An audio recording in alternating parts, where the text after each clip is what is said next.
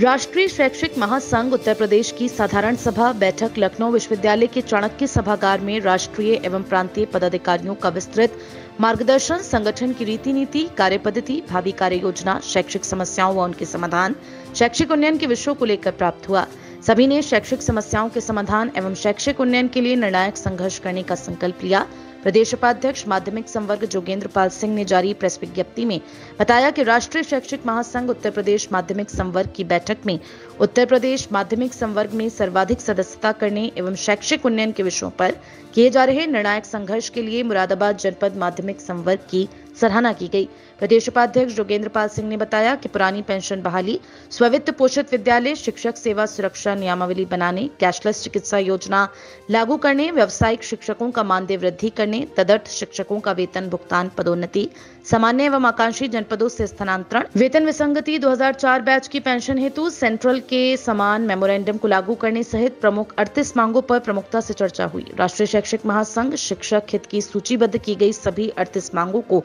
शासन एवं विभागीय अधिकारियों के समक्ष रखकर निस्तारित कराने का कार्य प्रमुखता से करेगा। यह निर्णय सर्वसम्मति से लिया गया। बैठक में राष्ट्रीय संगठन मंत्री महेंद्र कपूर, उच्च शिक्षा के राष्ट्रीय प्रभारी महेंद्र कुमार, प्रदेश अध्यक्ष डॉक्टर निर्मला यादव, कार्यकारी अध्यक्ष डॉक्टर संजय मेधावी, प्रदेश महामंत्री डॉक्टर ऋषिदेव त्रिपाठी, प्रदेश कोषाध्यक्ष पवन शंकर दीक्षित, राष्ट्रीय उपाध्यक्ष भगवती सिंह, प्रदेश उपाध्यक्ष डॉक्टर देवी सिंह नरवार, प्रदेश संयुक्त महामंत्री डॉक्टर कमल कौशिक, प्रदेश अध्यक्ष उच्च शिक्षा संवर्ग डॉक्टर लवकुश मिश्रा, माध्यमिक संवर्ग के कार्यकारी अध्यक्ष डॉक्टर अरुण कुमार शुक्ला, प्रदेश महामंत्री माध्यमिक संवर्ग आशीष मणि त्रिपाठी, प्रदेश संगठन मंत्री माध्यमिक संवर्ग सुरेंद्र प्रकाश भटनागर, प्रदेश उपाध्यक्ष माध्यमिक संवर्ग जोगेंद्र पाल सिंह, प्रदेश संयुक्त महामंत्री शैलेंद्र द्विवेदी, प्रदेश मंत्री डॉक्टर संतोष कुमार शुक्ला, प्राथमिक संवर्ग के प्रदेश अध्यक्ष अजीत सिंह, प्रदेश संगठन मंत्री शिवशंकर सिंह, प्रदेश संयुक्त महामंत्री संतोष कुमार मौर्य, तकनीकी संवर्ग के प्रदेश अध्यक्ष अमरीश सिंह, हरनाम सिंह, शैलेंद्र अवस्थी सहित पूरे प्रदेश के सभी संवर्गों के जिला अध्यक्ष जिला महामंत्री, मंडल अध्यक्ष एवं प्रदेश पदाधिकारियों ने बैठक में प्रतिभाग किया।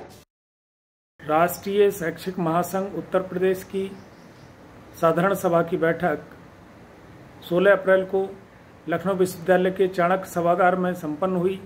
जिसमें प्राथमिक संवर्ग, माध्यमिक संवर्ग, उच्च शिक्षा संवर्ग एवं तकनीकी संवर्ग के 350 से भी अधिक जिलाध्यक्षों,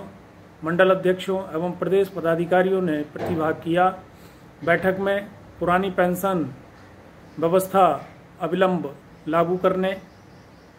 स्ववित्त पोषित विद्यालयों के शिक्षकों के लिए सेवा सुरक्षा नियमावली बनाने तदर शिक्षकों की समस्याओं का अविलंब निस्तारण करने, व्यावसायिक शिक्षकों की मानदेय की वृद्धि करने, कैशलेस चिकित्सा आदि ऐसी 38 शैक्षिक समस्याओं पर चिंतन मनन, चर्चा पर चर्चा हुई एवं इन्हीं सभी शैक्षिक समस्याओं के अविलंब निस्तारण के लिए निर्णायक संघर्ष करने की रणनीति तैयार की गई।